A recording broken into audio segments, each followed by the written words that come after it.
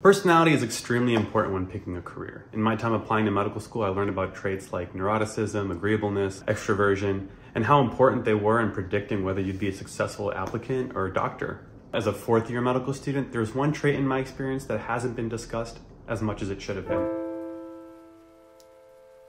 When you're curious, it's just not really something that you can turn off. Uh, you're curious about your anatomy, you're curious about your pathophysiology. Most importantly, you're curious about your patients. And a lot of the times, curiosity from a provider is what leads them to the diagnosis and someone's problem or someone's issues that they're facing. It can maybe spur on some new research questions, and maybe it'll make you a better proceduralist as well. Because uh, you're always paying attention the way the lighting is, the way you're throwing your sutures, the way the patient's positioned. If you're not curious about these things, how can they ever be better, right? What do you do if you're not really a naturally curious person? I was never really somebody who was super curious about things. I think when it came to procedures, I've been pretty curious. Playing basketball, how can I shoot better?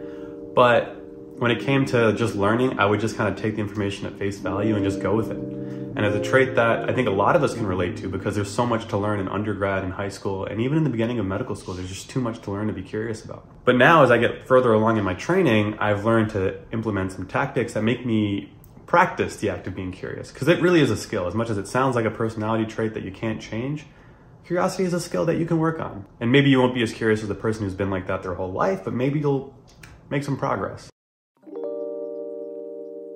Three things, let's start with the first thing. The first is to be mindful. When you're on your phone, when you're learning, and you have something that doesn't quite make sense, recognize that moment. Just take a second and be like, hey, I recognize that I don't understand this. And if you have the facilities, look it up. And don't stop looking it up until you're satisfied with the answer that you find. Recognize that you're trying to build a skill. And so if you look things up, don't stop until you get what you're looking for.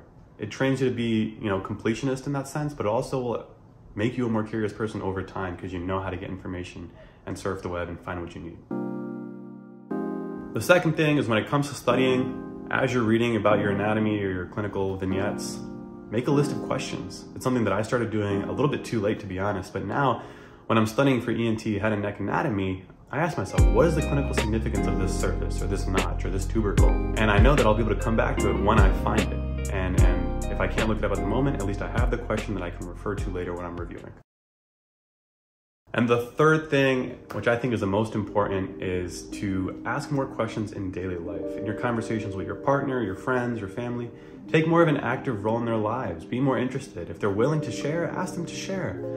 Uh, a lot of the times you'll find some pretty interesting stuff out. It's more fun for sure. I mean, I love talking to people. I've always enjoyed it. Um, but I'm, I've always been good at asking people questions about how they're feeling. How was their weekend actually? Like, what do they do? Uh, what problems are they dealing with right now? And how are they managing them?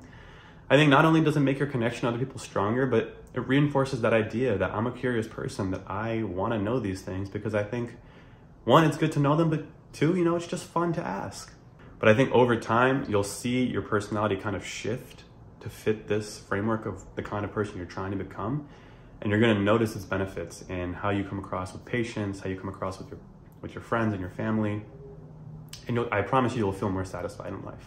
Curiosity is so important, and in the information age that we all grew up in, it's really hard to decide what to be curious about and what's too much information. But I promise you, if you focus on just a couple strategies that I mentioned, just trying to do them maybe once or twice throughout the day, you'll start to become more curious, and your patients are going to appreciate it, people in your life are going to appreciate it, and maybe one day you'll appreciate it. Like, comment, subscribe, and I'll see you guys next time. Peace.